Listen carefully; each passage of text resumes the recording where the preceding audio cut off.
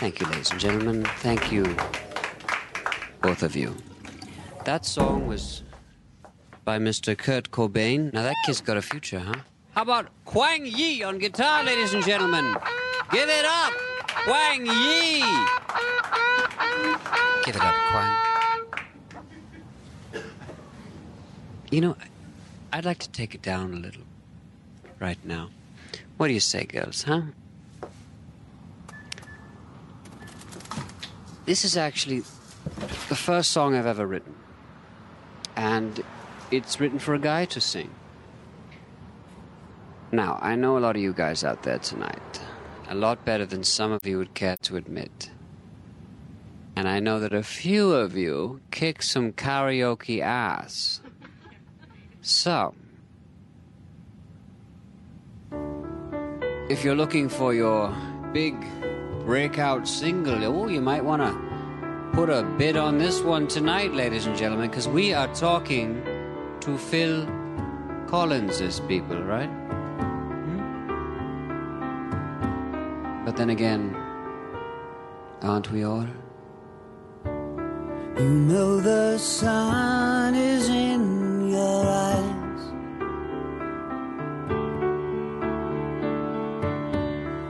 And hurricanes and rain and black and cloudy skies. You're running up and down that hill. You turn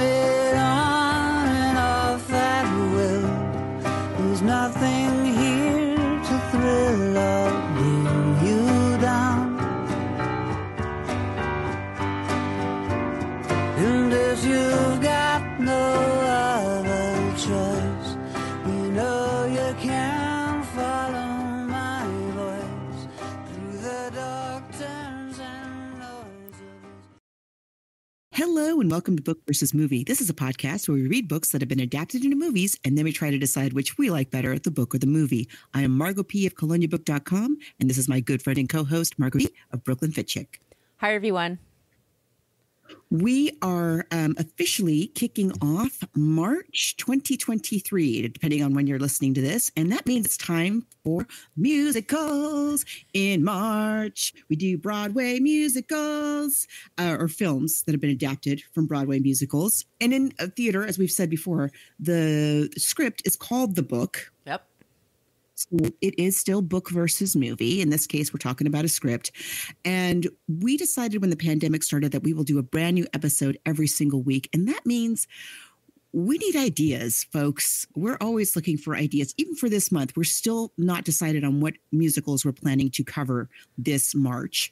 And so if you have ideas for films that we could cover, the adaptations of, if you have suggestions, ideas you'd like to share for um, films that we could do this year. We are always looking for ideas. There's a few places where you can share them with us. We have a couple of ground rules. Number one, it has to be um, a fairly short source, you know, um, not a 400 page book, but um, it could be a magazine article or a play or a, a song. As long as it's been adapted into a movie, it has to be something that we can get our hands on pretty easily. We want everybody to be able to access all of the material, and the movie has to be streaming someplace. Um, so, with those ground rules in mind, if you would like to meet other listeners of this podcast, interact with us, share your ideas, there's a few places where you can do that. Yes, we do have a basic Facebook page. Be sure to like it. All the episodes are posted there right away.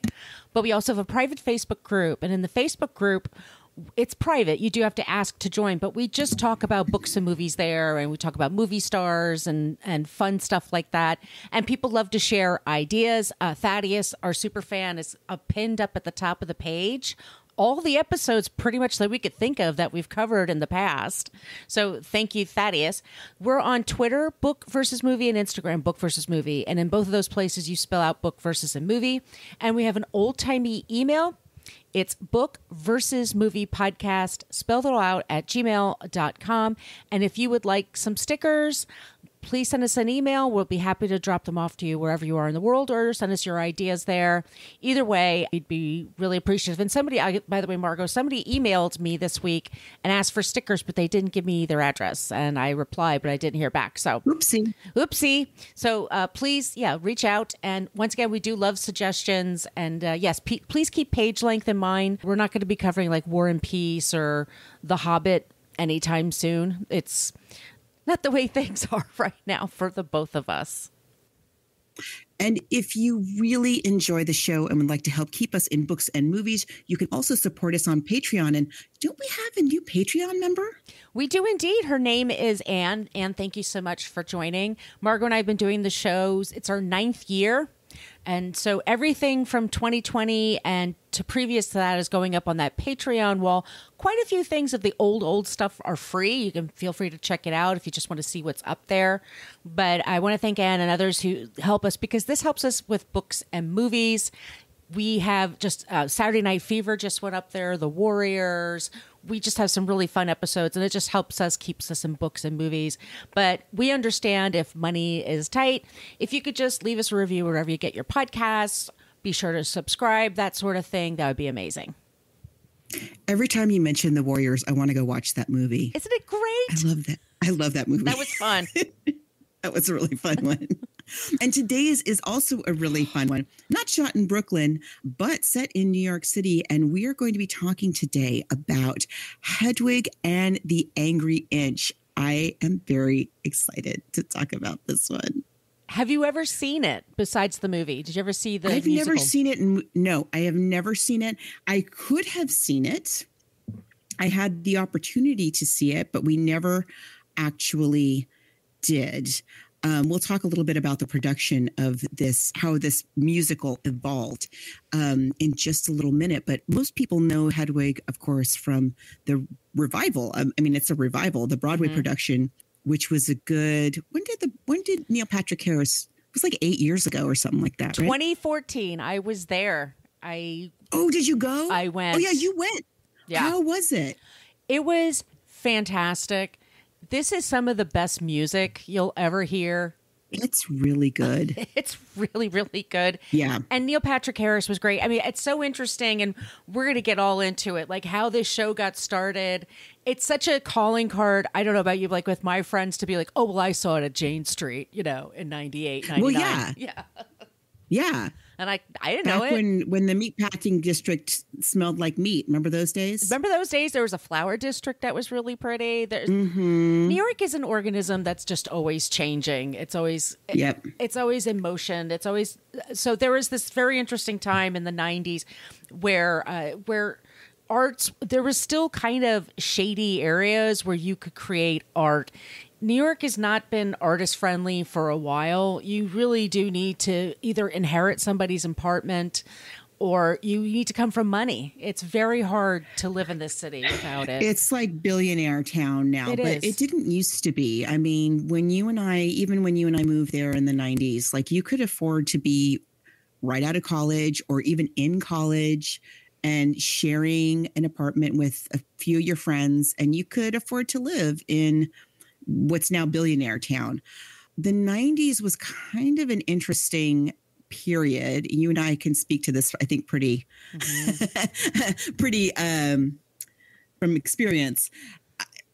The 80s, well, let's talk about the 80s in New York because the 80s was a, another really interesting time with uh, New York had a lot of crime. It's very seedy.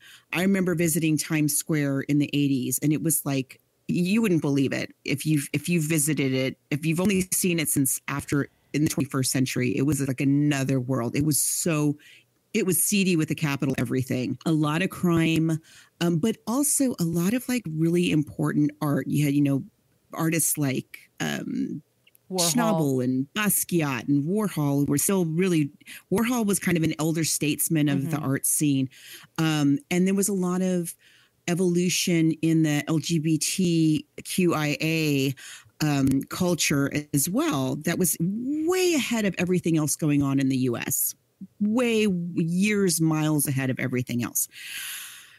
In the 90s, when you and I were there, Mhm. we had um, there was this guy who became the mayor. I mean, you may have heard of him. His name was Rudolph Giuliani. Was he still married to his cousin, or was I think it was he was married to Donna Hanover? He was then, married right? to Donna, the actress, who was on Law and Order a few times. Yeah. And she was on morning television. She was like a TV host as well. Shout out to Donna Hanover. But anyway, Rudy, he was not the buffoon that he is today, but his whole thing then was that he was this this again, this is before the Trade Center attack. This is before he was America's mayor. Um, and then he was just New York City's mayor. So he became mayor and all of a sudden um, his his whole thing is like I'm an I'm a prosecutor. I'm tough on crime, and so when he it was a total kind of a revolution in that it was there, all of a sudden there were cops everywhere. I was like overnight there were so many more police officers, and yes, they um, cracked down on crime, but they also had an impact. I'm trying to be really careful with my words here. They also had an impact on young people, marginalized communities who were starting to gain a voice, starting to um, express themselves in the arts and get kind of like some backing and legit cred. We talked recently about bringing the noise, bringing the funk. Mm-hmm. Uh, August Wilson, you know, but uh, there was a lot of art going on in the the mid to late 90s in the Juliana Giuliani years before the Trade Center attack about his kind of authoritarian mindset at least mm-hmm. you know if not um policies and people were really feeling people were really feeling the squeeze of that so there was a lot of art going on about that at time and and this is kind of one of those pieces so i didn't see hedwig when it was at the jane hotel but i saw a lot of other stuff like this around that part of New York City that was kind of about the same some of the same themes kind of on a different level. This this piece is so interesting. Yeah, I um, think we got to talk about John Cameron Mitchell. We do. I, I think we were also we. I think Giuliani. It was referred to as the broken window syndrome. I think that's what they called it. Yes, blight, urban blight. We can't have all these uh, queer kids and black and brown people hanging around. It's messing up our property values.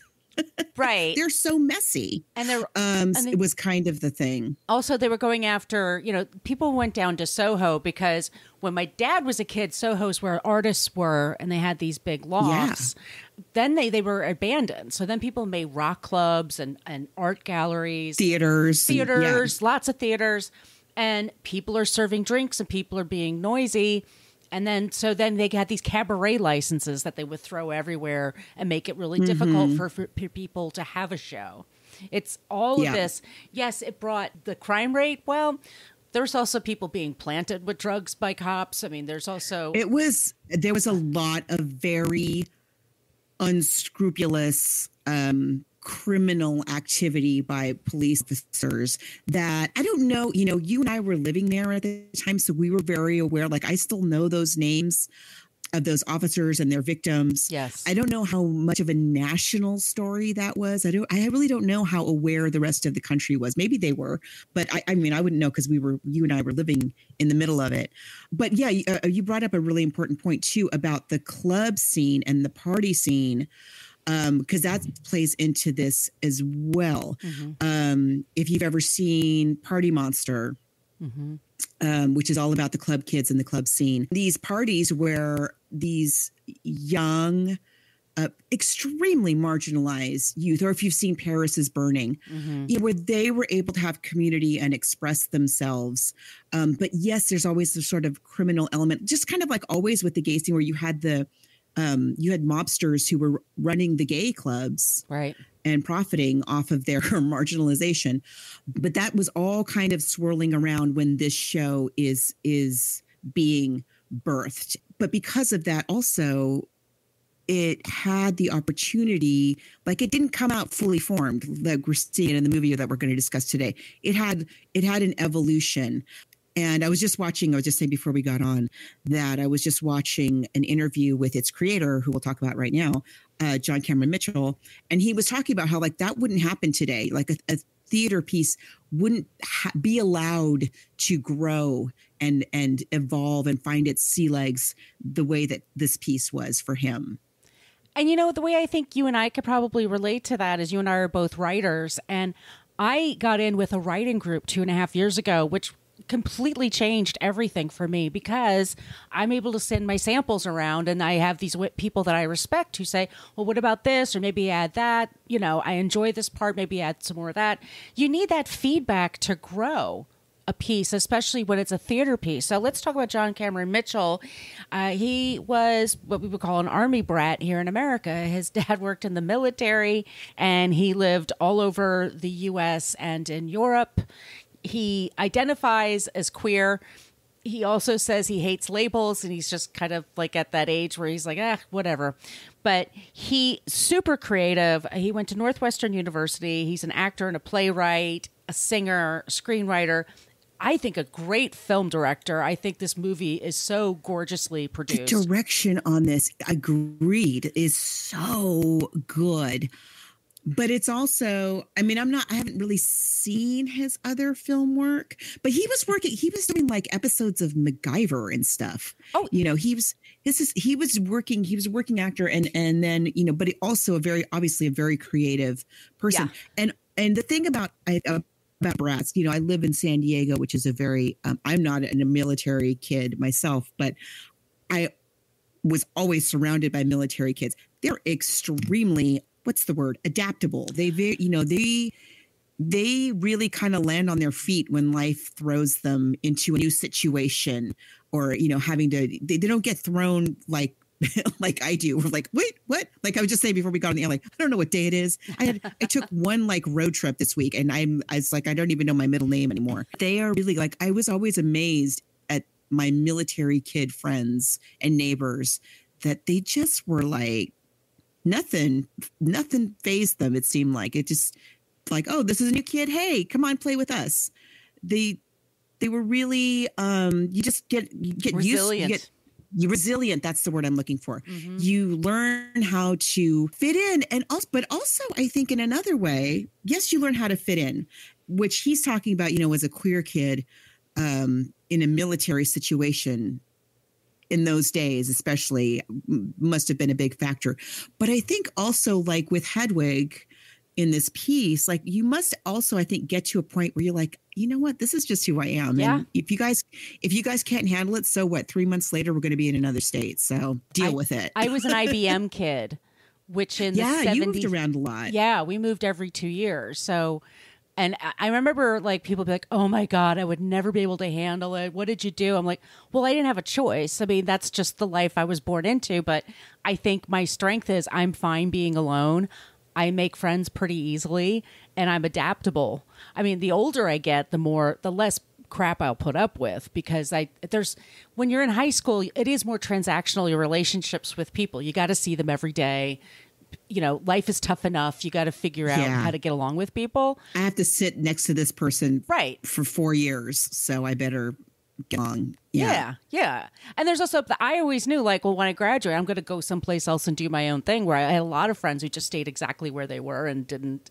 So anyway, but so I always, I always relate to Army Brats. I just feel like we have a kinship there. And so this is, he's a queer kid. He's growing up in the, his, his, so he's 1963, he- the 70s and 80s. He's like a big mm-hmm. pop culture fan of Bowie, Warhol, Prince, Patti Smith, all these things. There was a lot of kind of gender, what we would now say gender fluid exploration going on in art and, and music in particular. Yeah. this is not new. This is something like we were just talking about off the air because what's going on? The CPAC conference is going on, and somebody Like says right we now. right now and said we need to get rid of transgenderism, as if it's a thing that hasn't existed As if it's a for decades, if not centuries. Yeah.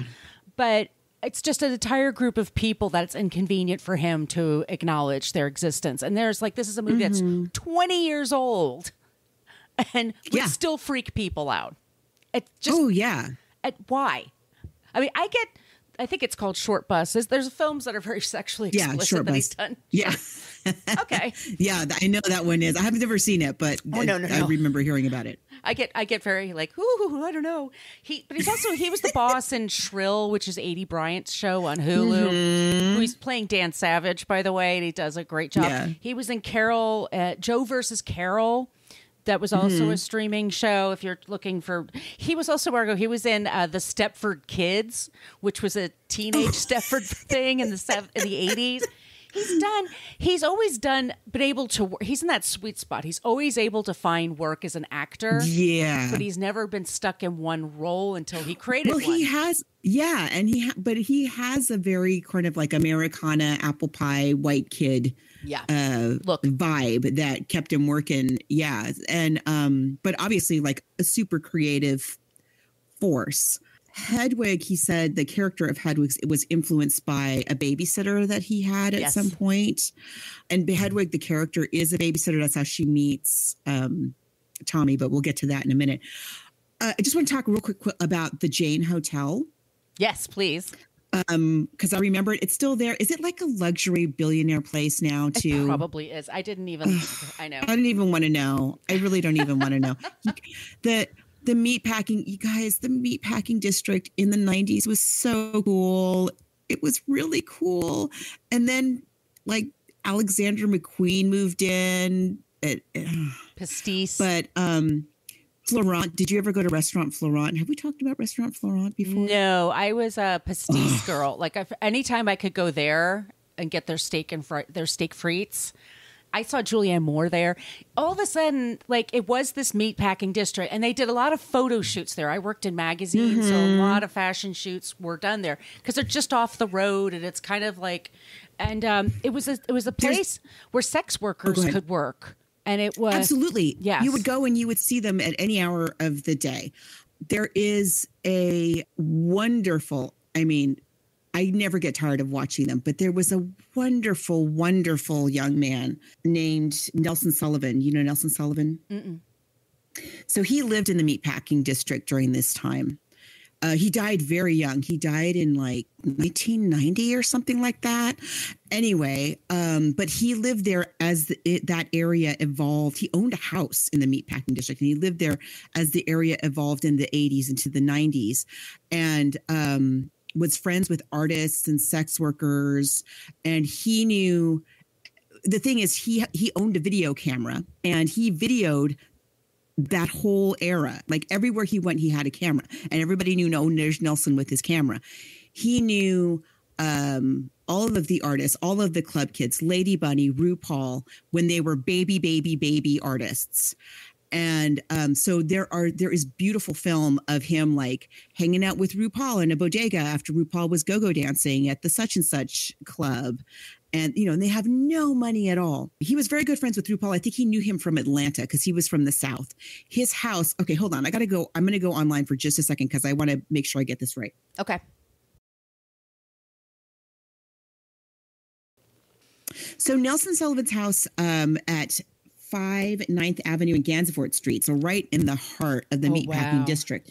It is now an art gallery. It's sort of a museum because, I mean, he has this. What he did was create this incredible archive and um, of culture at that time. You can find most of his video on YouTube and go and watch it. It's amazing. There is a whole. There's a several videos where he goes and visits RuPaul at the Jane Hotel because RuPaul lived there. It was sort of a flop house.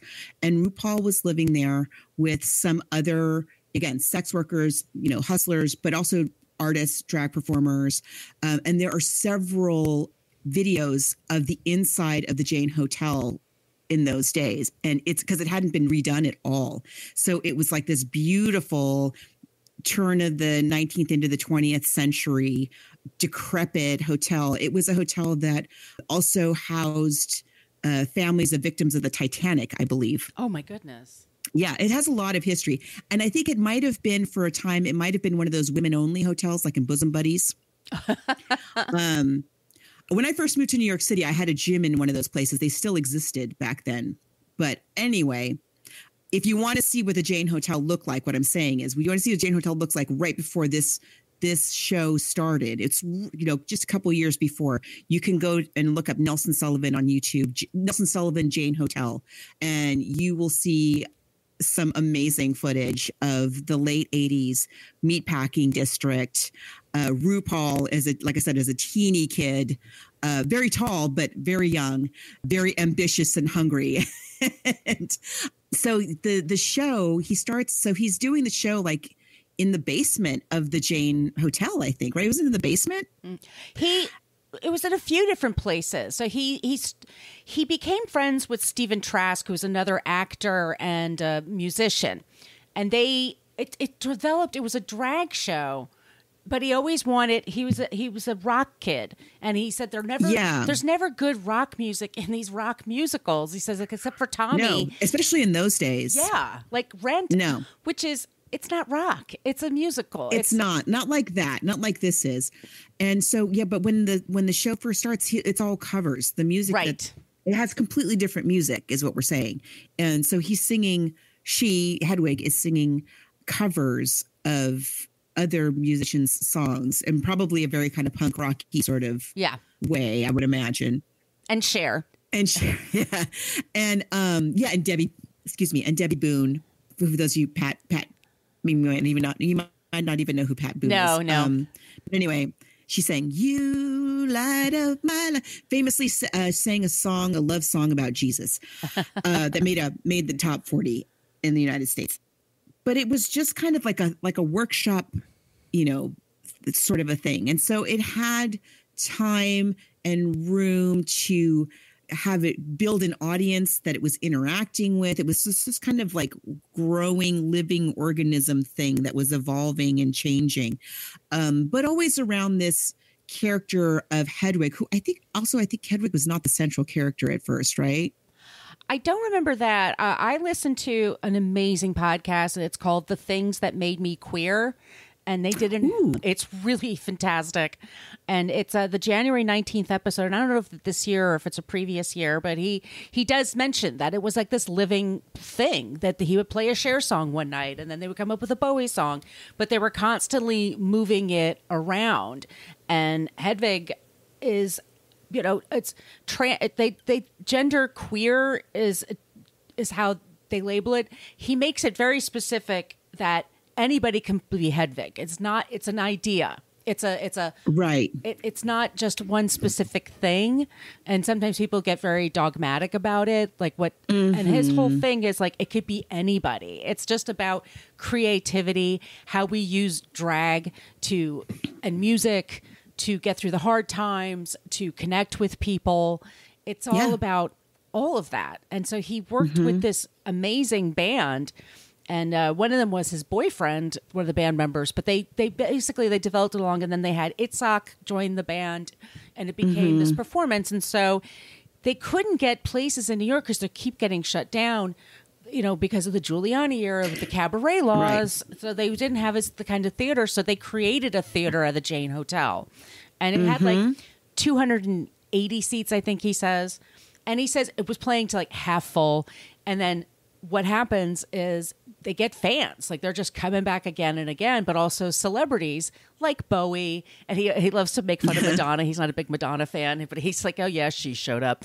But all these like and once bowie and madonna and the other cool kids show up to a thing it takes over. And so it didn't right. so it, it became like a cool Well, ticket.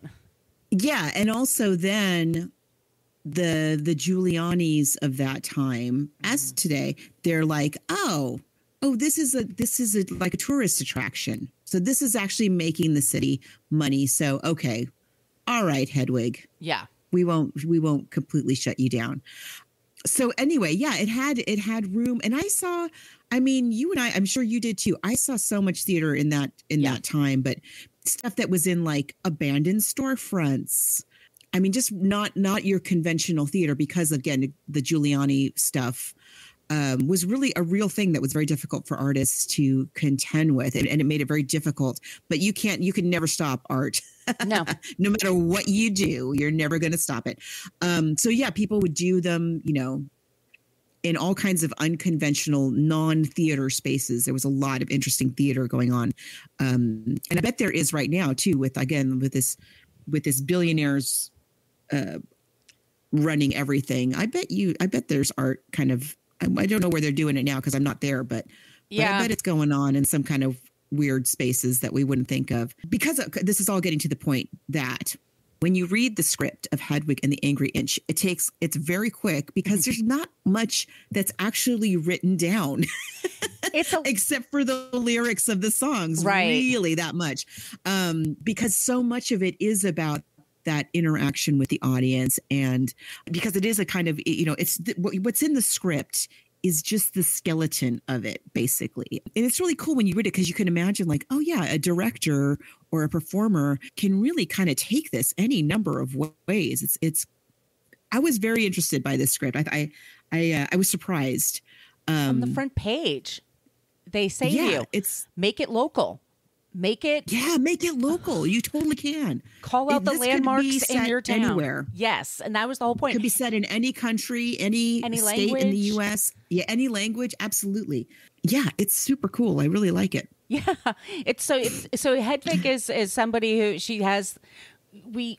Oh, well, let's get into the plot basically. Then it's a- yeah. So, so just just the structure of it. Um, you, you as the audio, your what your experience as the audience member is is like you are. So it, it's supposed to be sort of like um. I gather sort of like a dinner theater sort of setting, right. um you're not in a you're not in a rock venue you're in like a diner or it's it, or she's alluding she alludes to that you're in like a restaurant or something like that Right. but the whole show is this kind of cabaret show that you're you the audience member is watching with these songs these excellent songs.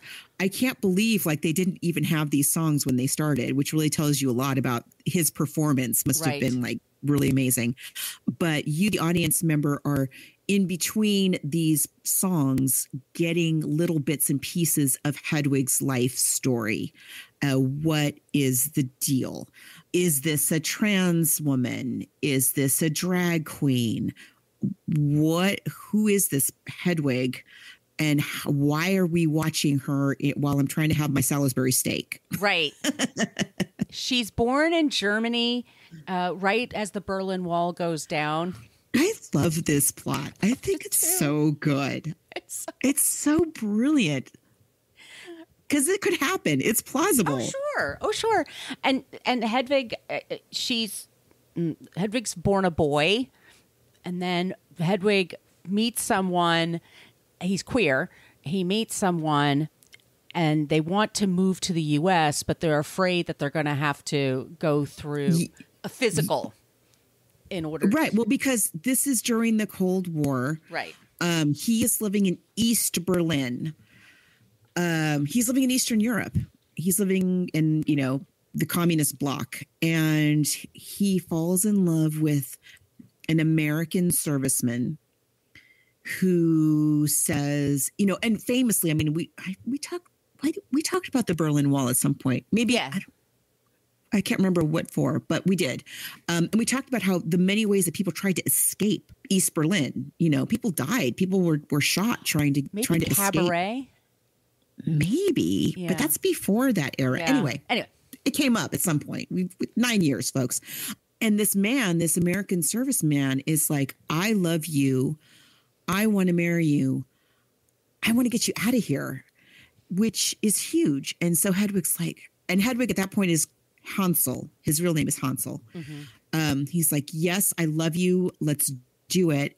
But here's the problem: the the army won't let me get you out of here unless we're married. We have to get married here in Germany, and Germany, East Germany, won't let me marry you unless they make sure that I'm marrying a woman. Right. So, mm, Right. bad news for you, Hansel. And Hansel's mom is like, "Oh, I know the perfect doctor. you take my her, her name is Hedwig. You take my passport. You say you're me, um, and we'll get this doctor. Snip, snip, and you'll be on your way. Enjoy your your life of freedom in the U.S."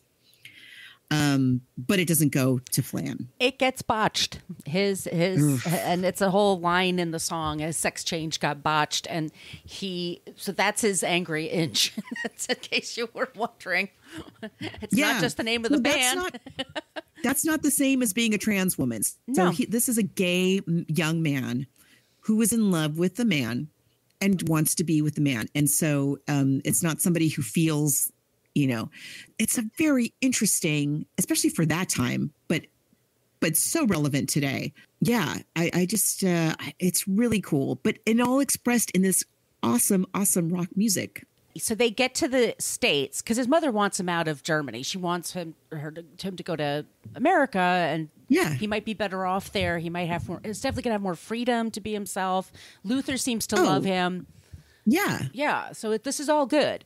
So he goes, and just as the Berlin Wall is coming down, he's being dumped by his American boyfriend, husband. Yeah. Who leaves so it was all kind else. of for nothing. Like if he you find out but they didn't know that, you know.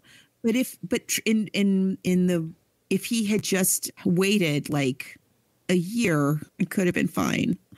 Um, but there was no way to know that. And now it's too late and the surgery's been botched and this husband has left for an, a man. he Another wanted man. because he's a gay man. So he leaves for a man. And um and there's Hedwig in a in a foreign country with no resources who now has to make and, she goes by she um has to make her way. Right. um, yeah she's always referred to as she in the script. We should talk about um also the cast the way that the um the cast is.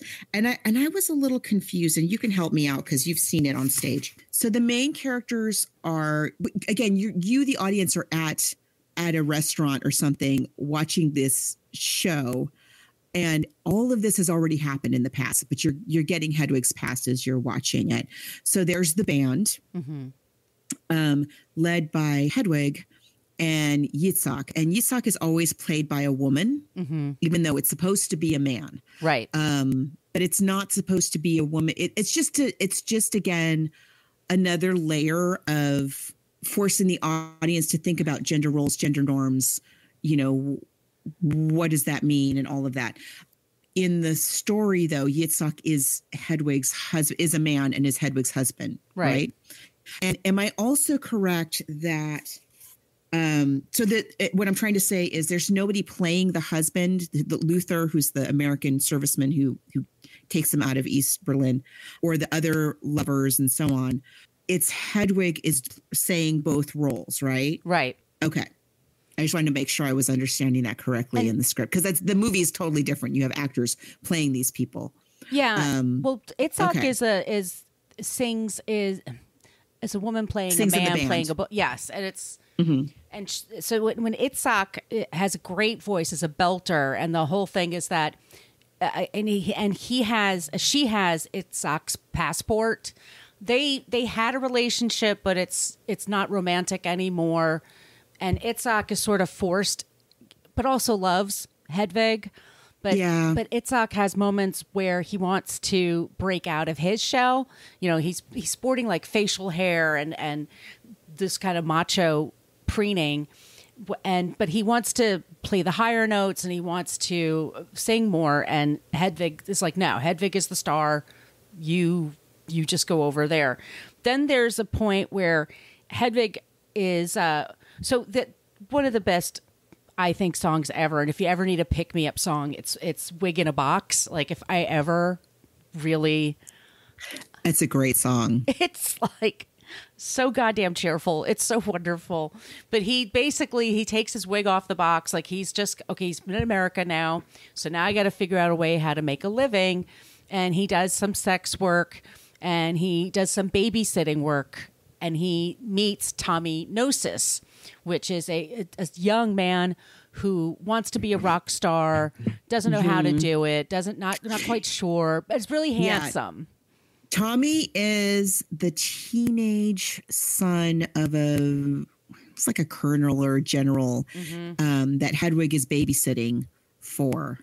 Um, so again, Hedwig is based on a babysitter that John Cameron Mitchell had as an army kid, um, as a military kid. So it's a little bit that story. Um, but they they fall in love.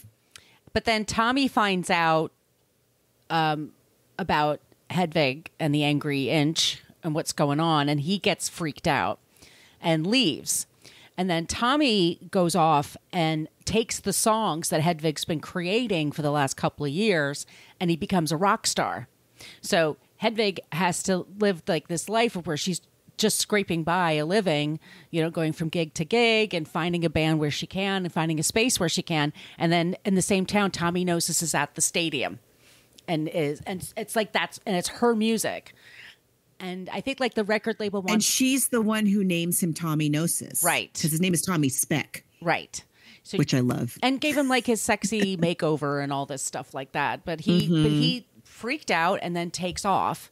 And so then um so she has to play these smaller gigs and she's and her whole story is just like uh, she gets dumped on and she figures out a way to get out of it. And rock music was like her savior and punk rock was her savior, but also the drag you know, drag movement and, and being in drag. And in the audience, sometimes there's kids that follow her and they wear the wigs and stuff. Basically, at the end, Yitzhak gets her chance, uh, gets his chance to to sing and be and then be in full Yeah. drag. over the course of the and again like the script is very sparse Yes. it is really the script is really mostly just the song lyrics but um so it was hard for me having never seen it on stage to kind of piece together what was happening but I, if i understand correctly by the end of through the course of the show where hedwig is telling you this story like tommy um tommy's fame with her songs and her art. He's stolen her art and her heart also mm-hmm. left her having to scrape by like margot said. And and really the, the more famous he is the more kind of oppressed hedwig is. He she she can't rise as long as tommy is this huge star. And over the course of the piece hedwig realizes that that's what she's doing to yitzhak. Mm-hmm. Right? Right.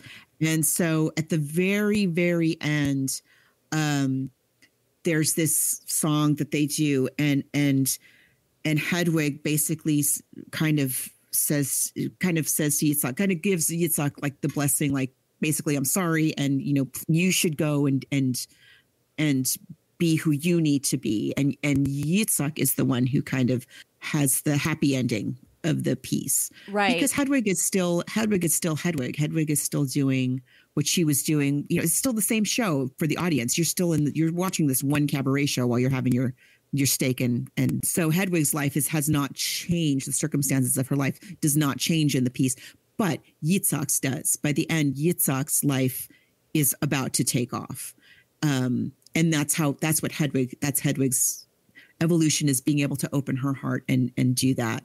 Um, for for Yitzhak, and um and, and it's I mean it's a fun it's a the script is very fun. yeah. Um, I wish I, like I said I so wish I could have seen it live because I bet it's really awesome.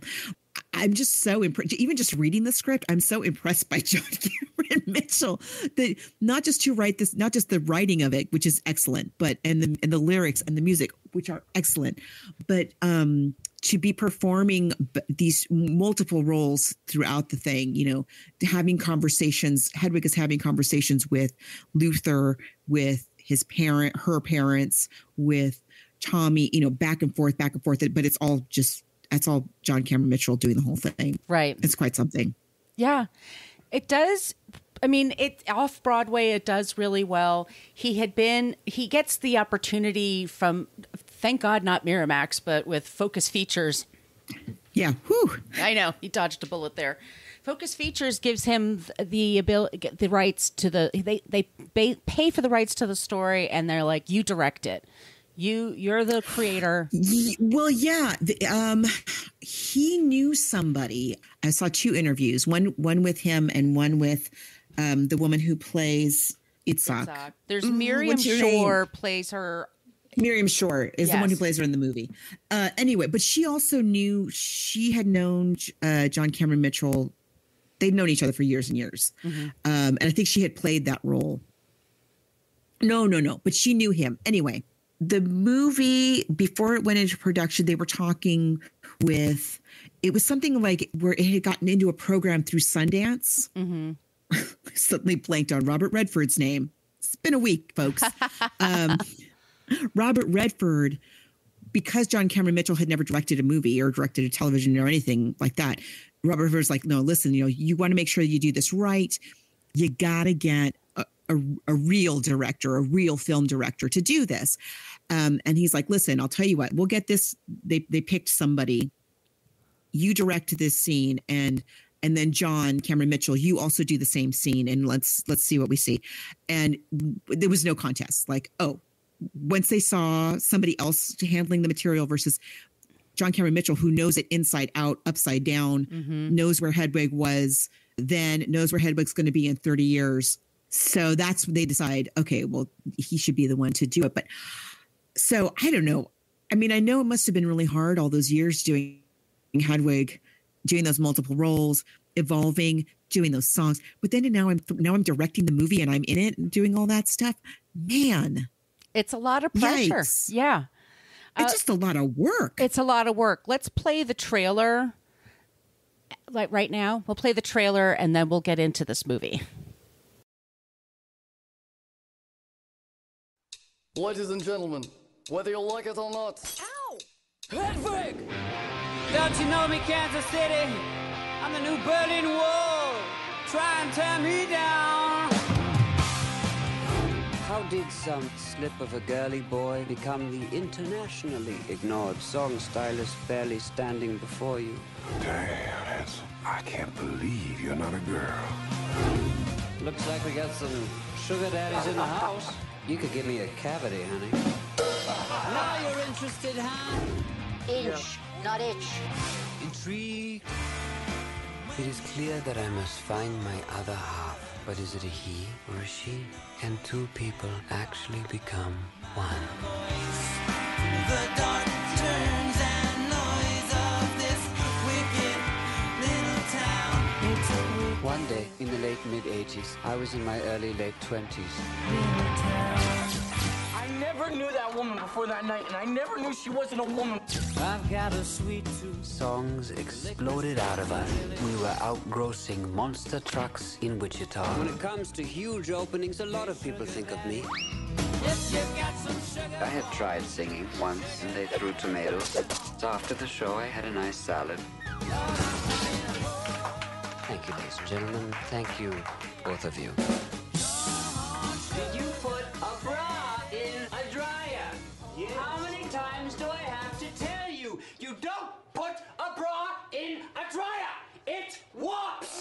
Okay, everybody. Put on some makeup. Suddenly I'm this punk rock star. And I ain't ever, I'm never turning back. Hey boy, take a walk Hedwig and the Angry Inch. When I think about all the people I have come upon in my travels, I have to think about the people who have come upon me.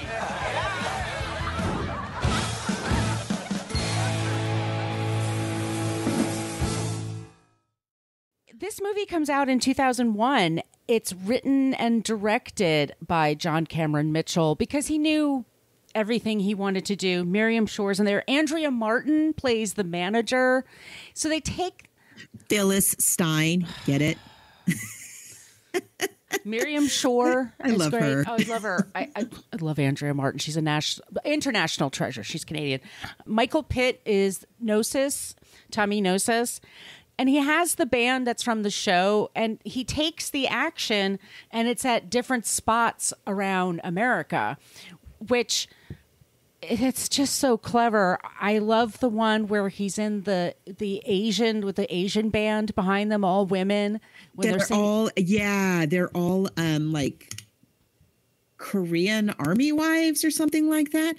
Um interestingly, the the movie release date is September twelfth, two thousand and one. Yeah, yeah. It, wow, that's not great luck, is it? No, it doesn't what happens is in a couple of years it comes out on DVD and then Yeah. and then the Sundance channel plays it all the time. I know it like I used to watch it on Sundance yeah, I think that was kind of instrumental in terms of its like sleeper um hitness because yeah, it just became this kind of like, oh yeah, people really talking about Hedwig and the Angry Inch and like, oh, boy, did you see it? Da, da, da. It's so good.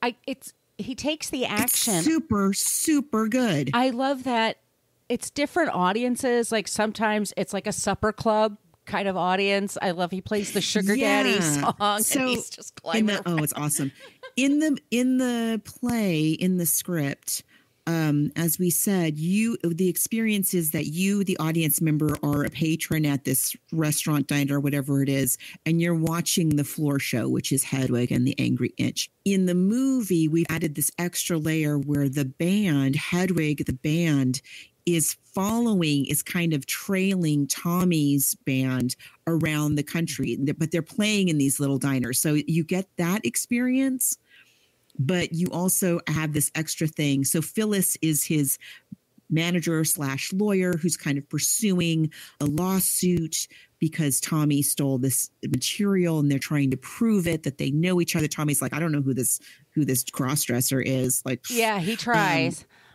he tries it but um so i like that. I think that's such a cool device as he's going around It has hedwig is going around the us playing in these little diners there is like margot said like there's a little he they have he's a little like fan base little cult following like a, like a half dozen people who follow the band around and i don't know you tell me if this was like what the stage experience was like seeing it on stage on broadway but one of the things I really like about the movie is how how intimately Hedwig talks to the audience. Mm-hmm. It's this loud rock, punk rock music. Da, da, da,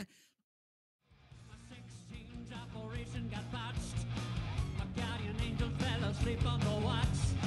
Now all I've got is a Bobby dog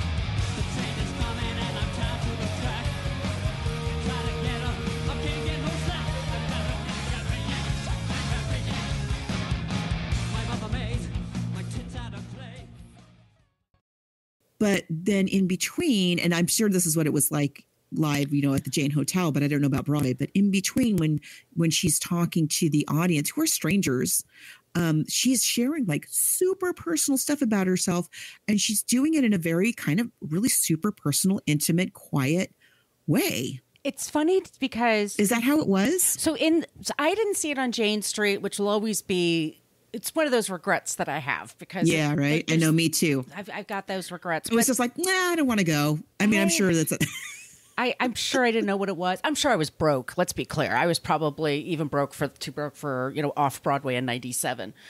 So what happens is that in the movie he does these these shows and he has this little fan base and it's mostly a curious audience, but for the most part people are good sports because it's great music. It's really fun. He's also super funny. I mean, he is on top of just being hilarious. He is hilarious. Very good jokes in this in this very, Very sparse script. It's got solid. super good jokes. Mhm. when you go to, we'll play a little clip here that I found. Someone uh, recorded a bit of Neil Patrick Harris. So this is 2014. Uh, you know, Obama's in office. Like everything's yay. We're we're more progressive. I was up in the nosebleeds, obviously, because I Remember when we thought that for a minute? Oh, I do. Oh, I do. But so I'm up in the nosebleed. So you have to play it to this huge crowd. And so half of it is going to be, well, let's say third. So a third of it's going to be the hardcore fans. A third of it's going to be people who have money and came to New York and they'll see anything and they love everything or they love Neil Patrick Harris. Then there's a third of us that are just like, well, it's a show. I hear it's good. I'm going to go check it out. Right. So, Doogie Howser's in a show. right. And so we still call him that because we're from the 80s. But he goes out on stage Thank you so much. You're so kind. I do love a warm hand on my entrance. Is Hedwig. Please welcome the Angry Inch.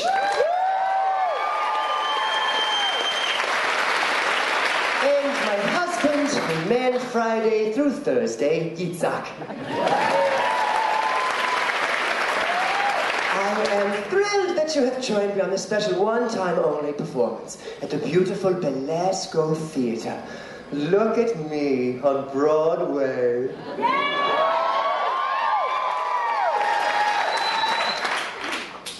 East of Broadway.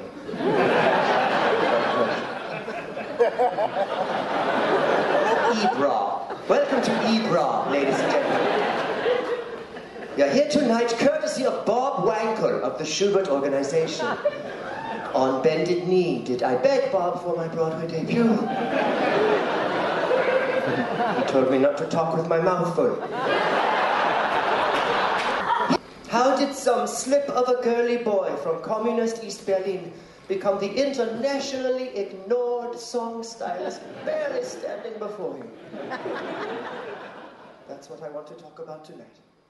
I'm not here to talk about And I remember he's so tall, thin, thin, thin, thin. Like Neil Patrick Harris, Har- Hedwig. The productions I've seen is a very thin person, but he says you could be any size to be Hedwig. But you're playing like a rock star of the '70s, so it's like that Iggy Pop, David Bowie.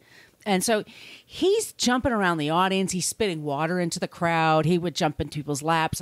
Loved it. People, he was motorboating women in the front row. Like they loved it. It was, but when they had to go to the quiet stuff, it really worked. You know, there's just he's a good actor. He's a really good actor, and uh, you you like he, you like Hedwig right away. Like she's got an You do. ego, sure, but she's got something to back it up. And there's something She's got an ego, but she you're you're you're in a like a Denny's. Yeah. Or she's just yeah she she knows who she is. She know she doesn't put, she mm-hmm. doesn't put on airs like that. So she so when he does it it's like he's he's kidding with the crowd. And he's like look at us at the Belasco Theater. And it's this gigantic theater. It was so much fun. It was just so much fun. And it's fun to do like wig in a box when they had everybody singing with it. And it was it was just fantastic. And I I I brought a friend and she was like an immediate convert, like had no idea what it was anything was even about. She was an immediate convert. But so to go back to the story, the the art Mm-hmm. direction this movie is so so amazing. The the We makeup- have the, the makeup is beautiful. All the makeup is so good because you have Yitzhak, who is a woman, and again, it never is like that's a woman. It's it's fine. It's fine. This is the world that we're in. The animation, there's a lot of animation that happens. Beautiful. It's gorgeous. I love the scenes where I, I really like, like I said, I liked the the idea of Hedwig and the band uh, following Tommy Yes. around the country. I love when she's playing the women's festival. I forget what it was called, the Menzies Festival or something like that.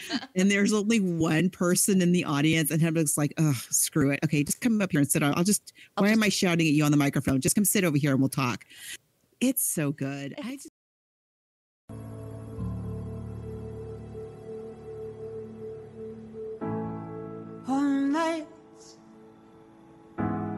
Like this. When the world's a bit amiss and the lights go down across the trailer park I get down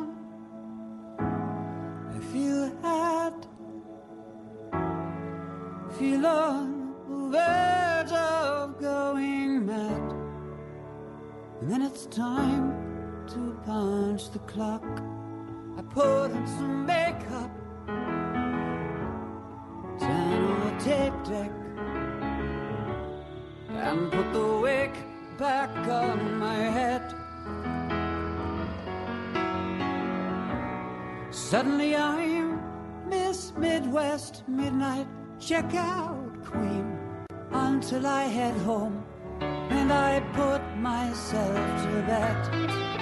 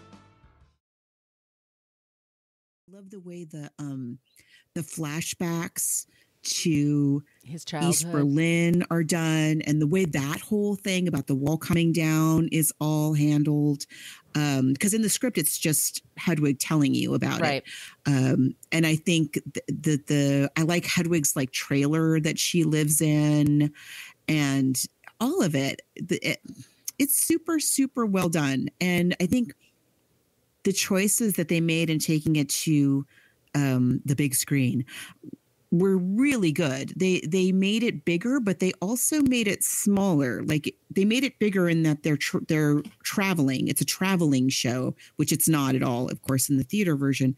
But it's smaller in that you get much more. When Hedwig tells you about her inter scenes with Tommy or scenes with Luther, her husband, in the stage show again hedwig's doing both pieces and is telling it's a story that she's telling you in the movie we're in the room with these two um Right. these two people these two humans in very very very intimate uh moments with them as their relationships are growing or shrinking and it's done super well i think I think Michael Um, Pitt's really good as Tommy Gnosis. he's super good Yeah, he and and he's playing. You know, he's hot. He's young and he's hot. He's not that bright. hmm But Hedwig loves him and trusts him, but he can't make that commitment to her. Like that, at the last second, he just completely freaks out. So when they go to New York, they meet up in the meatpacking district, and that's where Hedwig is trying to make some money. And his limo is by- hustling. I mean, yeah. they, they have run out Sex of work money, and I like that too. Yeah, that as they as the band is following Tommy, they're running out of money, running out of money, and they completely run out of gas. Hedwig is really getting uh, is really exploiting Yitzhak, uh, is not being nice to anybody, Right. and Phyllis, his lawyer, walks away, and yeah, so she's got to live. So there she is. She's hustling in the meatpacking district. and she's meeting Tommy. So Tommy shows up in a limo uh, or in a car, and they come and they start. And then there's this whole. Yeah, it's a limo. Oh, it's a limo, but she, Yeah. they're driving it at some point. Is is Tommy driving it? Yeah. So when it, when it starts out, um, which I really love, I love this in the movie. I think it's so cool. So the limo pulls up. First of all, there's a couple of, of cars that pull up and see Hedwig and are like, nope, and they Yep. keep going. And then this limo pulls up. It op- the door opens and it's Tommy, who is surprised. To, they're both surprised to see each other. Tommy invites Hedwig into the limo. And at first, they're riding in the back of the limo, and it's super awkward because they haven't seen each other. Hedwig's been basically stalking Tommy, and Tommy's pretending like, I don't know who you are. I don't know who you are. And now they're sitting next side by side in the back of the limo, and Tommy's finally kind of like, okay, pulls out a CD of his and says, puts adds Hedwig's name to the, you know, words and lyrics by, or, you know, music and lyrics by. Then we have a jump cut, and now Hedwig and Tommy are driving the limo. They're now in the front of the limo. So we don't know what happened. They dismissed the driver at some point. We don't know.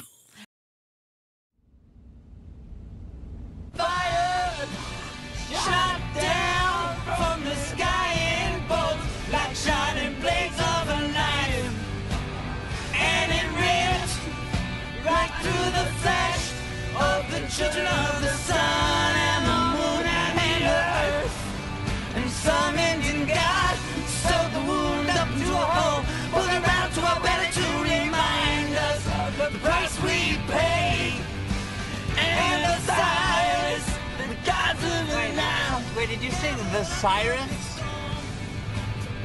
No, no, the, you just sang the Cyrus on that recording. The Cyrus, Cyrus, the, Cy- the Cyrus, the god. It's a, there's no god called Cyrus. It's Osiris. It's an Egyptian god. Remember we read that book? Right.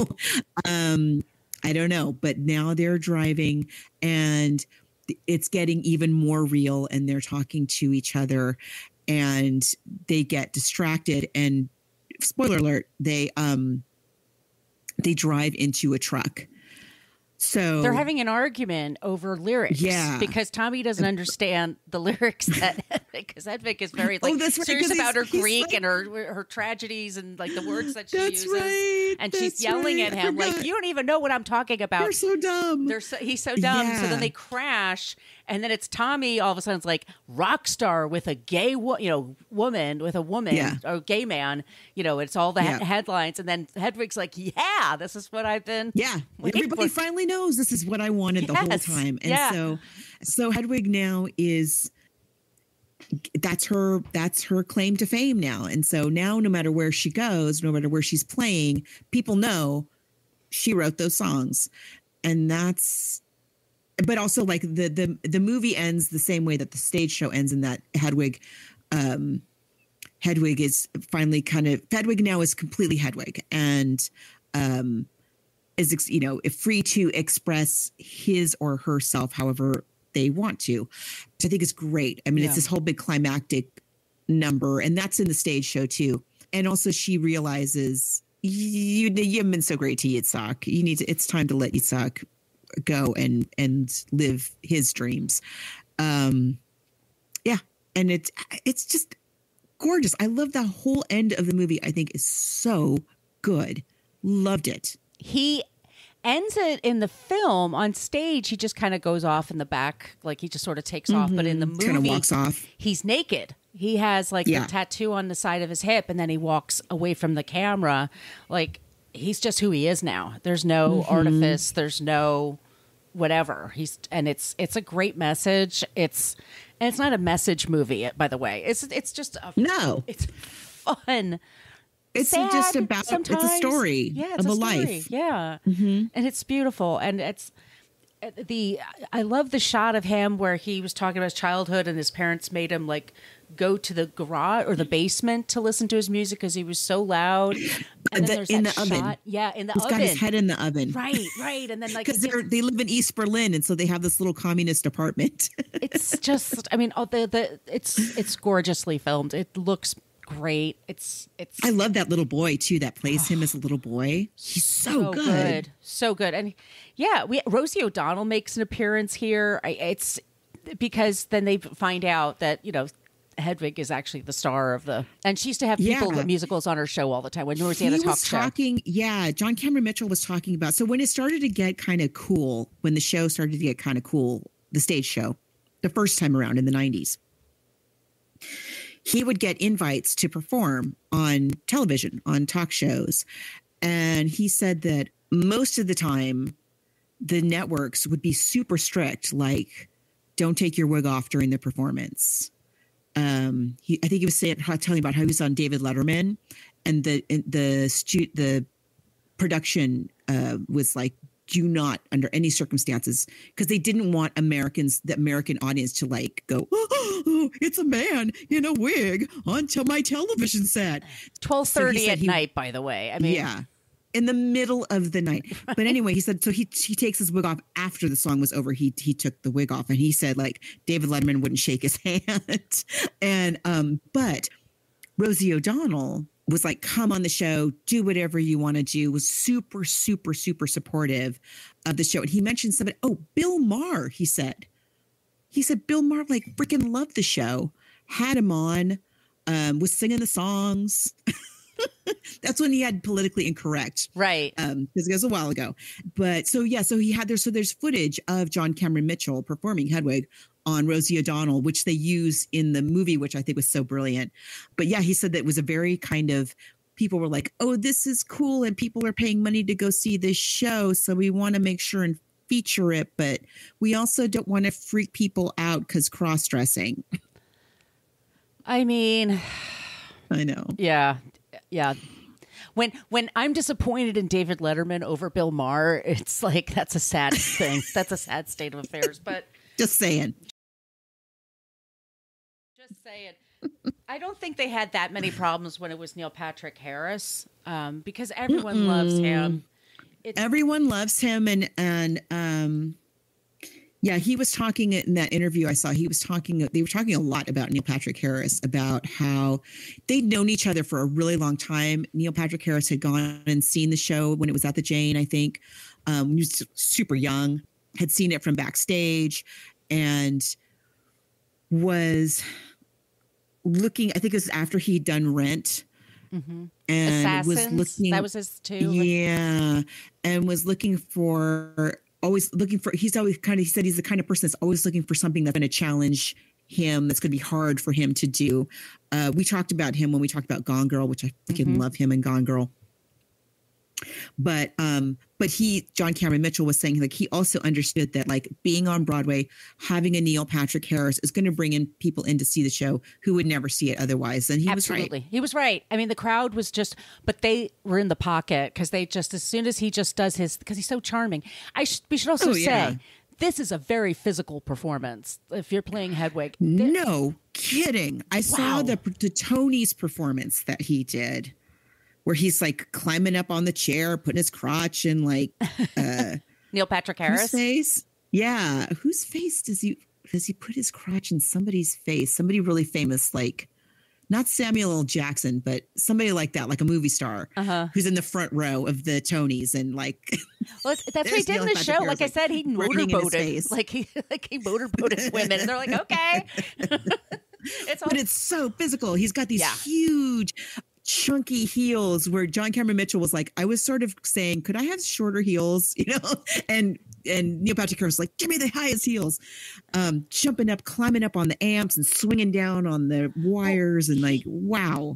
So Neil Patrick Harris left the production and they brought someone else in and uh, I can't remember who it was, but it didn't do as well. So they brought in John Cameron Mitchell back to do the role and that brought the box office, but he hurt his hip. Like at this point he could not do those leaps anymore. Oh my gosh, it's really something. It's very physical. So whoever you have, but I appreciate that he says because so we should say that there are productions around the world, and there was going to be a huge one. This interview I listened to in Australia, which of all places you think would be like easy, but the casting they they were going to pick. I, I think it's a cis male. And Uh-huh. people had a problem with it and said, no, it needs to Oh, be I a queer see. person. It needs to be a this or that. And the man, Uh-huh. the person that they were going to hire was so freaked out by the negative attention that they attempted to kill themselves.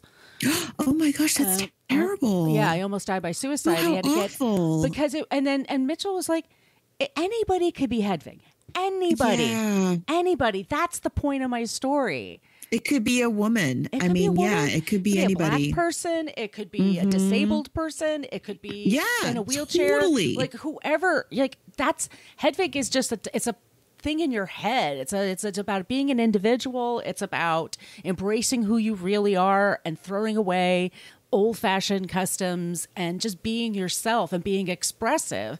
And this it was just heartbreaking for him because it's the antithesis of the very message that I wanted to send. And so, you know, I hate ending it on that. I think we should end it on just that it, it's a amazing pr- production. It did win the Oscar. I'm excuse me. It did win a Tony for best revival of a show in 2015.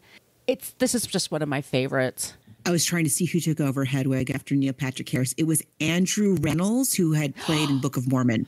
I love Andrew Rannells. No, Andrew Rannells was good. I think it was somebody after Rannells who was on Glee or something like that.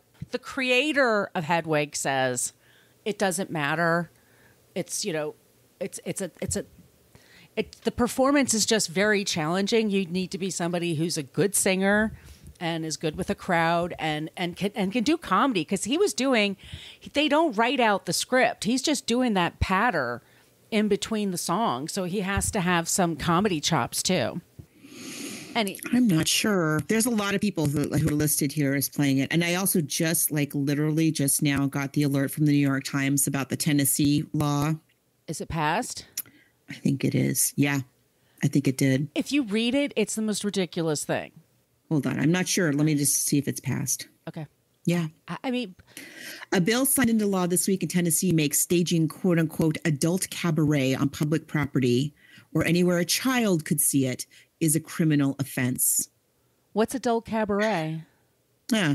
The law forbids performances in those places by topless, go go, exotic dancers, strippers, or male or female impersonators who, as the law defines it, provides entertainment that is harmful to minors.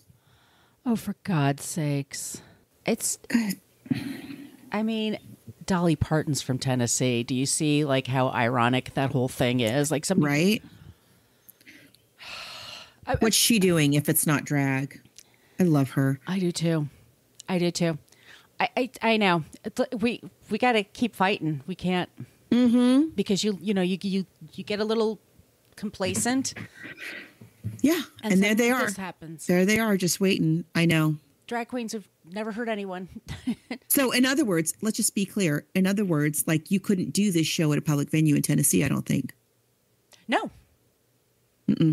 This is a show that's played around the world. Kids have seen this show, by the way. Don't want to shock you, but they have. There's, n- there's no, yeah, it's fine. There's no, like, is there even any swearing? I'm not sure there's even any swearing. No, I mean, there's sex talk, which would probably freak out my parents or would have at the time. But I mean, it's not It's a big deal. fairly tame, though. Very In the tame, yeah. script, it's quite tame. Yeah, there's no nudity. Yeah. There's no. No, but it's a man dressed as a woman and also a woman dressed as a man, like Yitzhak, let's not forget. Mm-hmm. And uh, yeah, so sorry, Tennessee, you won't be seeing this show unless people want to go to jail, I guess. Gosh, It's that's unbelievable. just uh, appalling. I mean, seriously. Um, this is a case where book versus movie. I can't even say anything because I think every performance is different and. Yeah, true. And I've never seen it on stage. And like I said uh, many times now, like the the the script is so sparse that you know it's so um dependent on the individuals who are performing it and the venue and all of that. Um, it's kind of a new thing, I think, every time it's done, I gather. Um, so for us, I mean, unfortunately, we have to say movie because that's kind of the best thing that we have to go on. But the movie is so good. Watch it's the movie. Really, oh, it's awesome.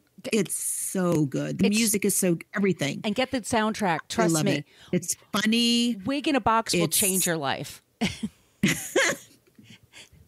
It's really good, you guys. so good.